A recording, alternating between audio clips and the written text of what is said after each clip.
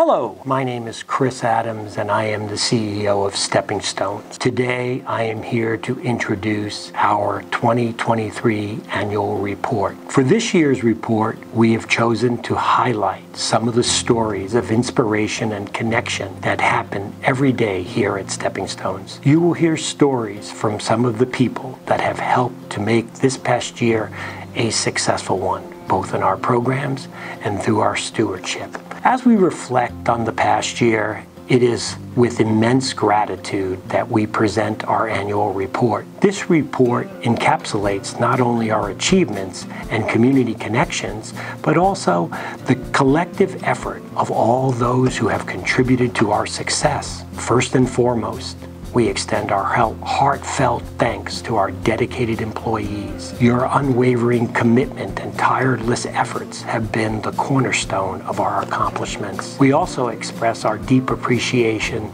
to our valued families, caregivers, and clients. Your trust and loyalty inspires us to innovate and improve continually. Your support is integral to our growth, and we are committed to providing exceptional service. To our partners in the DDS community, thank you for your steadfast collaboration. Your collaboration and contributions have been vital in maintaining the high standards we set for ourselves and meeting the expectations of our clients. We are grateful to our board members, volunteers, agency supporters for their continued confidence and investment in our mission. Your support enables us to pursue our strategic priorities. Lastly, we extend our gratitude to the communities in which we operate. Your support and engagement are found throughout this annual report.